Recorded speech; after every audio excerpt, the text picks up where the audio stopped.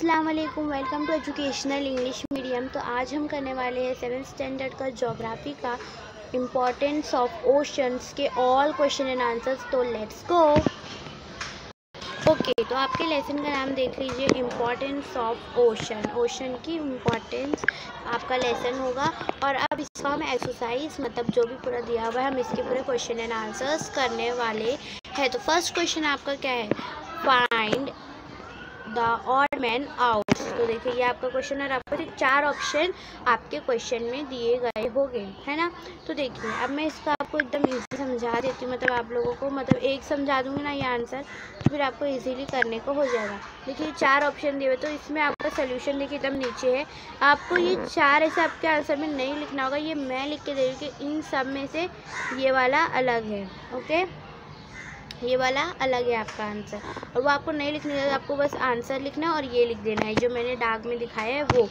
वो आपको लिखने की ज़रूरत नहीं, मैं आगे भी आपको वो दिखाऊँगी तो आप वो मत लिखना। और आपको लिखना है, आपको बस find the odd man out करने बोला तो आप बस ये लिख दोगे, हो जाएगा। बट मैंने उसके नीचे एक्सप्लेनेशन मतलब रीज़न भी दिया हुआ आपको लिखना है। अगर आपको एग्ज़ाम के टाइम समझना हो, तब आप ये लिख सकते हो। अगर आपको नहीं लिखना है तो एज योर विश मतलब ये मैं बोल रही हूँ, ये। ये आपको अगर लिखना है तो आप लिखिए, नहीं तो नहीं लिखिए। इट्स योर विश बिकॉज़ ये एक एक्सप्लेनेशन है मीन्स के, इसका एक एक्सप्लेनेशन दिया हुआ है और इसको एग्ज़ाम में आप करोगे तो बहुत आसान हो जाएगा आपको। अब चलिए सेकेंड ऑड मैन आउट देख लो। तो मैंने आपको एक समझा चुकी हूँ तो आपको सेकेंड समझाने की ज़रूरत पड़ेगी नहीं, मुझे इतनी। देखिए, इधर भी चार ऑप्शन दिया हुआ है और यहाँ अपना सोल्यूशन करके आंसर तो आपका आंसर क्या होगा? आपको ये नहीं लिखना है ओके ये नहीं लिखना है। आपको क्या आपका आंसर है? ये आपका आंसर है। है ना? ये जो डाग में वो आपका एक आंसर मतलब आपका तीसरा वाला जो है, वो आपका राइट है ऑड मैन आउट में से। तो ये देखिए, ये सबसे अलग है।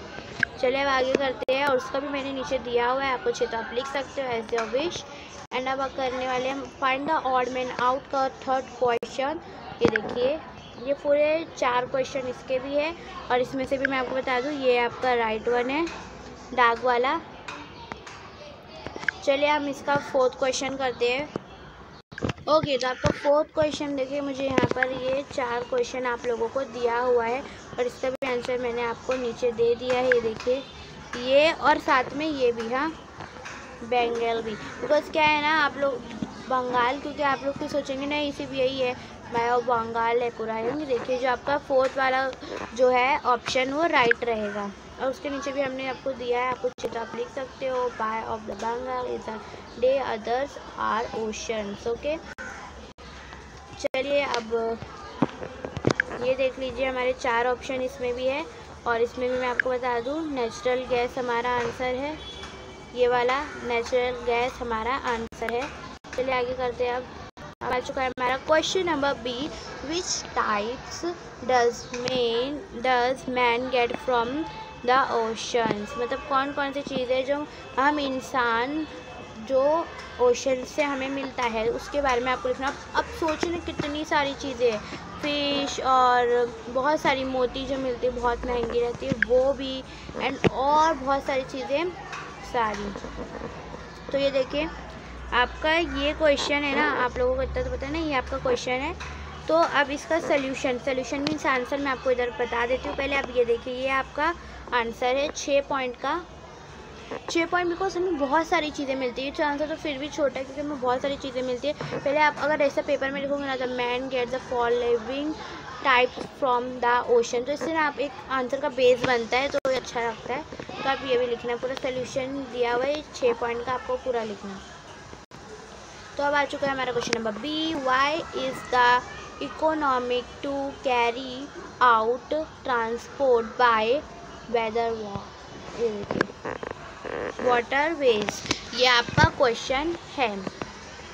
तो देखिए इसका भी हमने सोल्यूशन करके नीचे दो पॉइंट में आंसर दिया है। बहुत छोटा सा जल्दी जल्दी से इसे आप अपनी बुक में राइट कर लीजिए। एंड फिर इसका हमने डर्स और डर्स करके ना आप हमेशा अपने एग्ज़ाम में लिखा करें तो उससे बहुत अच्छा होता है। डर्स हैंड्स एंड बिकॉज़ तो इससे बहुत अच्छा आपका आंसर बनता है। चलिए। ओके okay, तो क्वेश्चन नंबर बी का थ्री हमारा क्वेश्चन अब करेंगे हम why is there a difference in the minds of regions close to the oceans and regions far away from the oceans आपका ये क्या है? क्वेश्चन आपका है। Fourth question sorry one second कौन क्वेश्चन है हाँ। तो ये आपका थर्ड क्वेश्चन है बी का। तो इसका भी सोल्यूशन बहुत बड़ा है बिकॉज़ ये सवाल ऐसा पूछा गया, ये फिर भी उसके सामने छोटा है। लेकिन आप देख सकते हो हम आपको कितने पॉइंट दे रहे हैं। वन सेकेंड छः पॉइंट दे रहे हैं लेकिन सब छोटे हैं, वो सिर्फ़ लंबी लंबी से हमने ज़्यादा ज़्यादा तो ज़्यादा दिख रहा है। तो आप इसका पूरा स्क्रीनशॉट ले लीजिए। ओके एंड हमारा आ चुका है क्वेश्चन मतलब हमें बी का फोर क्वेश्चन है, ये देखिए। बी का फोर क्वेश्चन है तो ये फोर्थ क्वेश्चन हमारा, ये देखिए।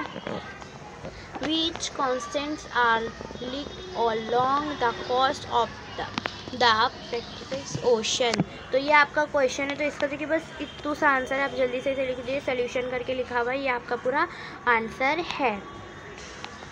एंड यहीं पर हमने सेवन स्टैंडर्ड का जोग्राफी का six lesson importance of oceans के ऑल क्वेश्चन आंसर कर दिया अगर आपको वीडियो अच्छा लगे तो like share and comment and also subscribe and अगर आप मेरे चैनल पे हो तो आप चाहिए तो अगर आपको जीके पढ़ना है तो मैं जीके की भी वीडियो बनाती हूँ।